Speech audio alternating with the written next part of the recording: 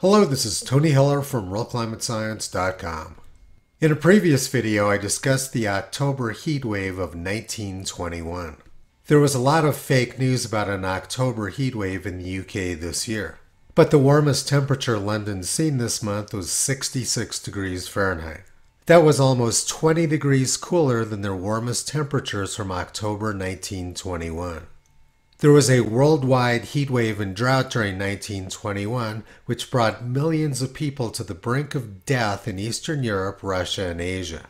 1921 had the second highest average maximum temperature in the United States. And 1921 in the United States had the most days above 60 degrees Fahrenheit. The worldwide upset weather of 1921 was blamed on the solar system passing through a vast unseen cosmic cloud at a time when sunspots were hottest.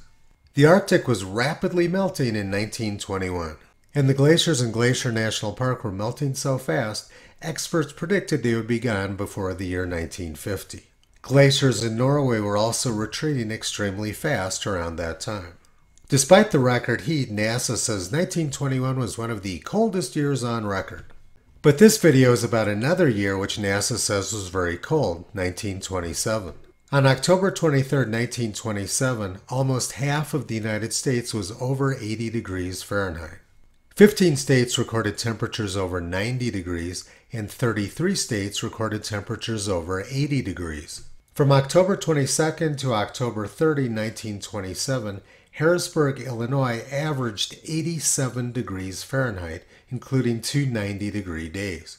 A few days later, Vermont experienced their worst flood on record. This was just as the country started to recover from the worst flood in U.S. history on the Mississippi. That flood lasted for six months and drove hundreds of thousands of people from their homes permanently. The Red Cross described fiscal year 1927 as being the worst disaster year in their history. The disasters of 1927 included 29 tornadoes, 24 floods, 23 fires, and 9 hurricanes. During May, dozens of towns were destroyed in Missouri and Arkansas by a tornado outbreak. And at the end of September 1927, St. Louis was largely destroyed by a tornado. One year earlier, Miami was destroyed by a hurricane in America's inflation adjusted most expensive natural disaster. This is what Miami Beach looked like in September 1927. The hurricane largely destroyed Miami, Hollywood, and Fort Lauderdale. Huge sunspots were blamed for the excessive rains and storms which caused unprecedented floods in various parts of the world. We don't have to guess what the climate would be like at lower levels of carbon dioxide because we have huge amounts of historical information. People who claim the weather was better at lower levels of carbon dioxide are not telling the truth. And even worse are people who claim we can make the weather better by giving up our reliable supply of energy and food. Toto's been pulling back the curtain on this superstition for the past 14 years.